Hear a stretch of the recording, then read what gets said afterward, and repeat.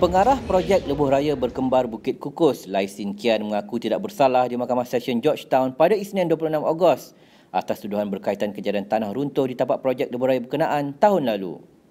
Sin Kian membuat pengakuan itu sebaik pertuduhan dibacakan terhadapnya di hadapan Hakim Mazdi Abdul Hamid. Mengikut pertuduhan, Sin Kian sebagai majikan gagal mengadakan pengiraan kejuruteraan oleh jurutera bertauliah bagi kerja backfill atau menampung tanah untuk cerun sementara hingga menyebabkan tanah runtuh pada jam 1.56 sehingga 6 petang 19 Oktober lalu dan mengorbankan 9 orang. Dia didakwa mengikut Seksyen 15 Seksyen 1 Akta Keselamatan dan Kesihatan Pekerjaan 1994 yang membawa hukuman denda maksimum RM50,000 atau penjara hingga 2 tahun atau kedua-duanya jika sabit kesalahan.